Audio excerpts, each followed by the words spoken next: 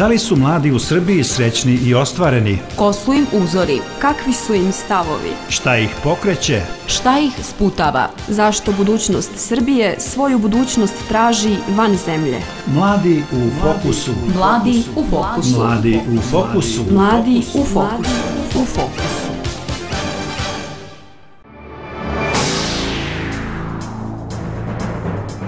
Odnos dece prema roditeljima se menja tokom života od obožavanja i idealizacije u ranom detinjstvu preko kontriranja i sukoba u adolescenciji do prihvatanja u odraslom dobu. Odnos roditelja i dece posebno je važan u pubertetu jer se tada najčešće pogoršava. S obzirom da zdrava porodična atmosfera pomaže mladima da se formiraju u prave ličnosti, potrebno je raditi na rešavanju mogućih konflikata i boljoj komunikaciji.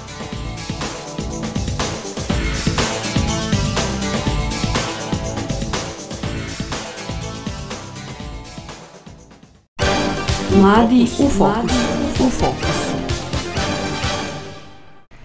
Porodičnim odnosima bave se državne ustanove, ali i nevladine organizacije i udruženja građana.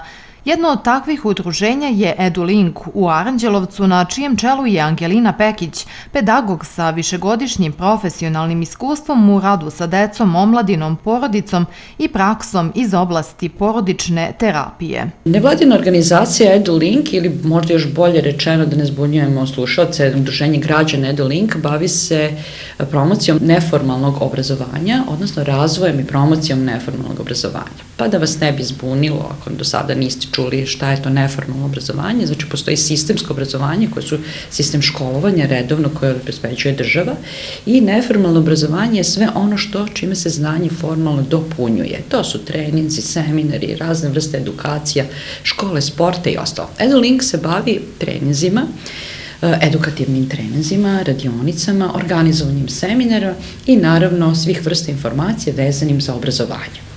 Naravno, e, organizacija EduLink je i svojevrsno porodično savjetovalište. Kakvom se to porodičnom problematikom bavite i na koji način? E, EduLink u sklopu svog rada ima porodično savjetovalište. Sastavni deo obrazovanja jeste zapravo potiče iz porodice i upravo porodica jeste baza od koje ćete svakako krenuti u svom obrazovanju. Porodična problematika, kada kažemo problematiku, uvek u porodicu sa problemom. Nije to to poenta EduLinka, ne zbavimo se klasičnom problematikom, nego svako funkcionisanjem porodice u svakom mogućem smislu. Naravno, ukoliko se pojavi problematika, ukoliko porodica oseti da ne funkcioniše onako kako bi trebala, EduLink je zapravo i tu, naravno, da pomognemo u porodičnim konstelacijama, odnosno u porodičnom jednom sastavnom delu, gde će komunikacija biti baza za razumevanje onih odnosa koji treba da budu znači od e, razumevanja i roditelja i dece, znači sa višestranih strane to posmatramo i naravno pomažemo, pomažemo, učestvujemo u saradnji rada porodice. Mladi u fokusu. U fokusu.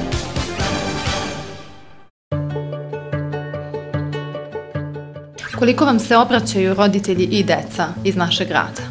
Pa mogu da kažem da smo za sada zadovoljni odzivom. Taj odziv je opet iz faze neke, znači reći nikakve prinude, osam vlastite želje i vlastite motivacije i prepoznavanja, što je najvažnije prepoznavanja da im treba neka asistencija ili blago da tako kažem sa, saučesnik u popravljanju odnosa u samoj porodici. Ne, nemojte nikako reći pomoć. Mi nismo u fazi pomoći, mi nikome ne pomažemo, mi smo samo asistenti, saradnici i konsultanti konsultanti u jednoj por, dobre porodičnoj basi. Koliko se obraćaju, mislim da bi mogli i više, ali onoliko koliko zaista sada prepoznaju se, opet smo zadovoljni. Koliko su česti e, danas ti konflikti između roditelja i dece i kakvi su to, da kažemo, nesuglasice, sukobi, nerazumevanje? Danas ne vjerujem da se mnogo promenili konflikti kao takvi u sazrevanju porodice su uvek prisutni. Znači to je nešto neminovno, percipiranje samih odnosa zapravo šta ja hoću, a šta neću i šta mi je dozvoljeno je vekovno od kad je porodice. Danas su oni drugačijeg oblika. Utiču pre svega zbog razvoja tehnologije, danas je nešto gde roditelji ne mogu da prosto prepoznaju ponašanje svoje dece u odnosu prekomerne upotrebe tehnoloških sredstava. Opet da kažem, internet, nažalost, ono što treba bude korisno, nekad se zlupotrebi zato što nije na pravi način korišćeno. A od strane dece je to prosto nemoguće i velika problematika zapravo jeste da roditelj ne može prosto da se tu snađe koliko je dovoljno, koliko ne, Zabrane su po pitanju korišćenja mobilnih telefona, interneta i ostalih tehnoloških pomagala. Smatraju ih roditelji kao neke od oduzimača kvalitetnog i kreativnog vremena za njihovo dete.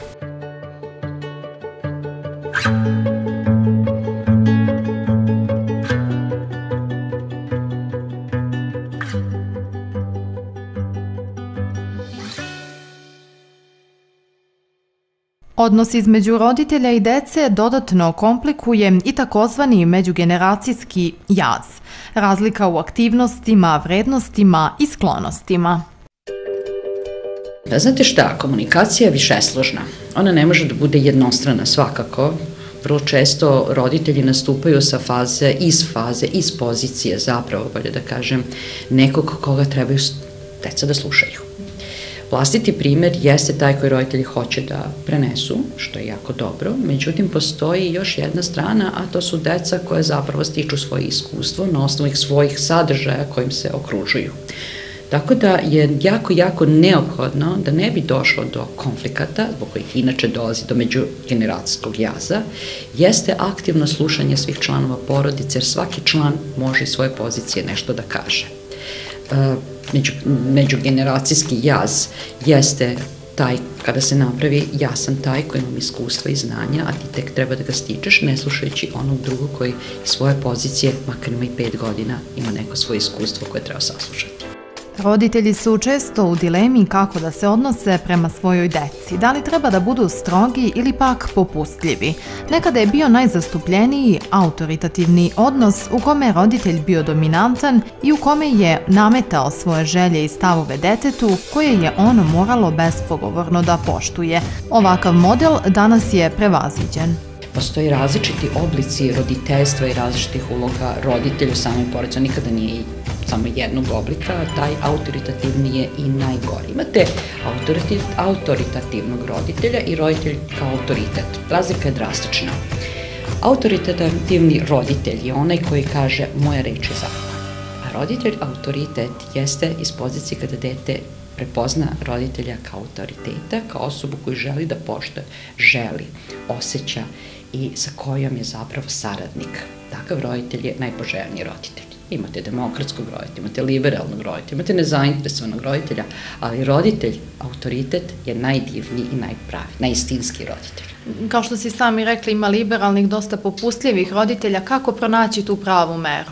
Znate šta, vrlo je teško, jer prosto vi ne znate kakav ćete biti roditelj. Niko ne zna kakav će biti roditelj, roditeljstvo se ne dobije kad se dobije dete. Roditeljstvo se uči u interakciji sa detetom, tada sazrevate i postajete roditelj. Biološki roditelj i vaspitni roditelj su zaista dva različita pojma, jer nikada nećete znati na koji će puta da vas odvede dete sa svojim senzibilitetom i inteligencijom. Vi ste osoba, odnosno roditelj osoba koja treba da prepoznaje da osluškuje i da vidi kakvo je to biće koje je sada ispred njega.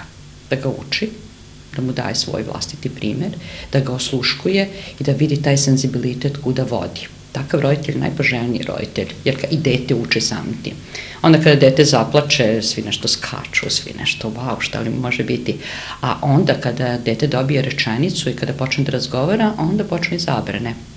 Tada dolazi do onoga što vi zovete među, međugeneracijski jaz. Ako i mi kažemo, ne, ne postoji međugeneracijski jaz, nego prosto postoji aktivno slušanje, osluškivanje. Mladi u fokusu. U fokusu. Najčešći sukobi koji se odvijaju unutar porodice su zbog individualnosti, zavisnosti, nezavisnosti, ali i zbog različitih uverenja. Da bi se ti sukobi rešili, potrebno je razvijati toleranciju, a članovi porodice bi, uprkos prezauzetosti poslom, trebalo da planiraju zajedničko vreme. Koliko bi e, deca i mladi trebalo vremena da provode sa svojim roditeljima? Oni će provoditi ceo život definitivno. Koliko će vremena aktivno u interakciji tokom dana, to je već pitanje koliko sama porodica je funkcionalna.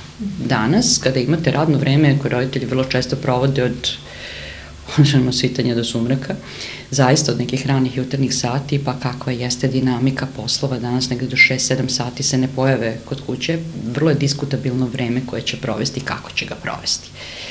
E, ne mogu da vam kažem koje je najidealnije, prosto ne može niko od nas da kaže, ali prosto jeste ono koje će provesti aktivno i efektivno jedni sa drugim. Vreme porodica može da isplanira, postoji ta neka metodologija, svoju vlastitu mogu da naprave i da kažu ako su oba roditelja u porodici, kada će jedno više biti na, kod kuće, kada drugo, ako su oba roditelja zaposlena. To su sada dinamike, da li jedan roditelj više kod kuće, drugi manje. Ove, u principu treba pratiti dnevni ritam porodice, znamo da i deca imaju svoje obaveze, dobro je da isplaniraju i nedeljno i dnevno, ako mogu i mesečno, to bi bilo sjajno, ali bi uvek trebalo da isplaniraju tako da svi imaju neka svoja zaduženja, da budu svesni svojih zaduženja, a svakako ono vreme koje je zajedničko u nekom slobodnom vremenu, tipa gledanje da li su zajedno ispred televizora, što ne kažemo da je najbolje vreme. Najbolje vreme jeste ono koje će provesti zajedno harmonično, kako će ga organizovati, to je već njihova odluka. Sport, šetnja, izleti, šta god, samo je važno da budu zajedni, da rastu zajedno.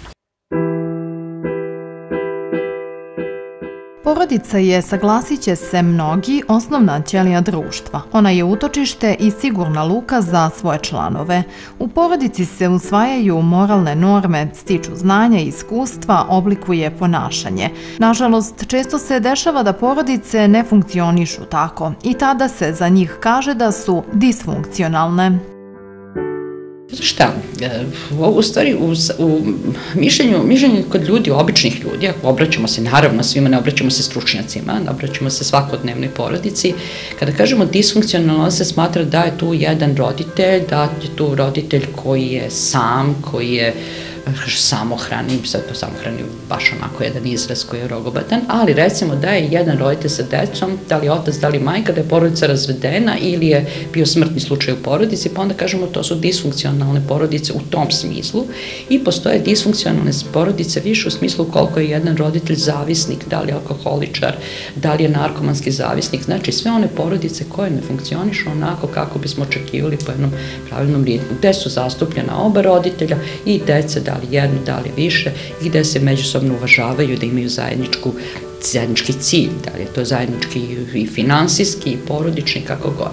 Kod disfunkcionalnih porodica imamo porodicu koja funkcioniše na nekoliko mesta. Ona može da funkcioniše jako dobro i da ne bude disfunkcionalna, međutim, dete tako ne doživljava. Disfunkcionalnu porodicu dete samo može da doživi, da kaže da li ona funkcionalno u smislu da su tu oba roditelja u ravnoteži ili da su tu i porodice i deka i baka ili neki ljudi koji su mu dragi ili su oni koji su naprosto tu kao jesu, ali u stvari nisu ne samo u finansijskom smislu, mislim u smislu podržavanja, afektivnog vezivanja jednih za druge. Eto, to će vam biti najbolja definicija za one koji nas slušaju šta znači biti disfunkcionalni. Zapravo verujte da možete imati porodicu gde su svi roditelji zastupljeni, računam i na, na jednu generaciju stariju, na deke i bake, na roditelji, na decu, imate tri generacije, ali oni mogu biti disfunkcionalni, odnosno postoje jako veliki konflikti među njima, da postoje raskoli, da postoje nesvuglasice, one samo prirodi stvari disfunkcionalna u tom nekom psihološkom smislu, a u jednom sociološkom, rekli bismo, sve funkcioniše da li baš uvek, da kažem, odrastanje u toj disfunkcionalnoj porodici negativno utiče na dete? Da li to nužno znači da će to dete odrasti na neki pogrešan način? Da li je to baš pravilo ili, ili ne? Hmm, nužno? Pa, otprilike, da. Ne mogu da kažem da nije. 90% slučajeva deca koje rastu u konfliktnoj situaciji u sredini gde nisu podržavane i gde nisu gledali ljudske odnose koji treba da budu balansirani i u beri uvažavanja i samopoštovanja svakako izlazi sa određenom dozom frustracije i tu frustracije skazuje kasnije u odrastanju i u sociološkom smislu. Nažalost, da, 90% slučajeva, redki su slučajevi da iz takve porodice izađe osoba koja je svesna i koja može da podrži sociološke, odnosno socijalne oblike ponašanja i koja ima u sebi razvijen sistem i poštovanja za druge i samopoštovanja. Koliko je onda u tom e, smislu važna sa druge strane uloga e, celog društva, škole? Da, važno je, znate šta, da će to dete ići u školu, primere radi. Verovatno se opet očekuju neke odgovore tako dete neće pohađati redovnu nastavu, da će rano da napusti školovanje, da li će se zaposliti, da li neće, da li neće biti sposobno nađe posao. Očekuju se svi tako neki loši putevi. Međutim, e, postoji način, postoji način, naravno imamo školu, imamo sredinu kao takvu, najviše školu koja bi trebala da prepozna dete iz funkcionalne porodice i zaista ima sjajnih stručnjaka i pedagoga psihologa, nastavnika, učitelja, znači idemo jednom lesticom koji prepoznaju tako dete i žele da mu pomognu na sve moguće načine, i tipa radionica, raznih školskih, van, vanškolskih aktivnosti i svakako razgovor sa stručnjakom u školi. To je najvažnija jedna baza, osim porodice, jeste školski sistem. Kakva su vaše iskustva kao pedagoga, koliko su deca spremna da se obrate za pomoć e, stručnim licima? Iz jedne pozicije dok sam ja radila u školi, ovaj, mogu vam reći da su deca i ekstremno raspoložena, odnosno jako, jako su raspoložena da traže samo pomoć i da se obrate stručnom licu traže savet, podršku. Njima treba podrška. Taj savet uključuje apel, kad vam se obrati, traže savet, to je zapravo apel za podršku. Sada iz ove pozicije mogu vam reći da zaista sam iznenađena decom koja dolaze, koje, koje decima razgovaraju sa svojim roditeljima i oni kažu ja hoću da ti kažem da mi treba još neko što je za mene zaista i za moje kolege koji se bavimo psihoterapijom i koji se bavimo porodičnim savjetovištem, jako, jako nam je drago da postoje takva, takva deca, a još mi je više draže da postoje takvi roditelji koji će primetiti i koji će reći da mom detetu treba as, još jedna osoba koja će nam biti asistent, odnosno pomoć, da nam usaglasi da vidimo šta možemo da učinimo da se moje dete i svi mi zajedno osjećamo bolje. Mladi u fokusu.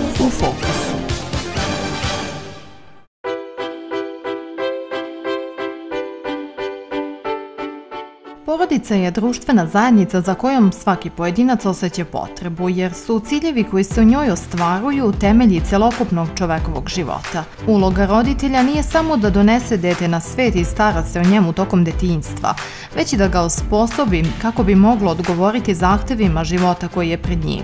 Uloga porodice i njen značaj u društvu menjao se kroz vreme, ali bez obzira na to, deca i danas pronalaze uzore upravo u svojoj porodici.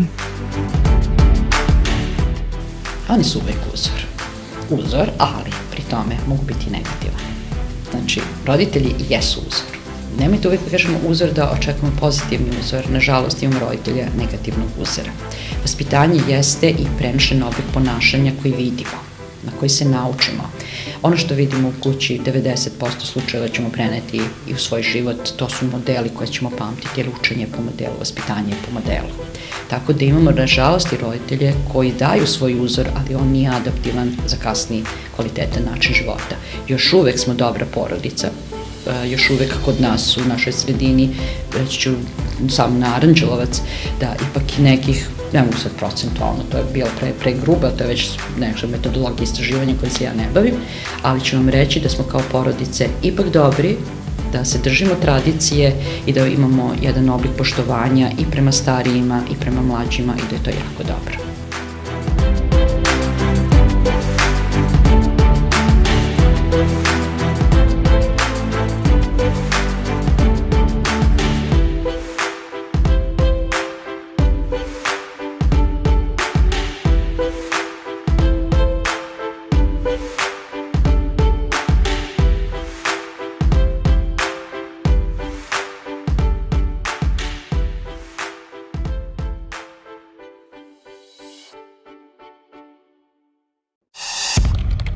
Da li su mladi u Srbiji srećni i ostvareni? Ko su im uzori? Kakvi su im stavovi? Šta ih pokreće? Šta ih sputava? Zašto budućnost Srbije svoju budućnost traži van zemlje? Mladi u fokusu. Mladi u fokusu. Mladi u fokusu. Mladi u fokusu.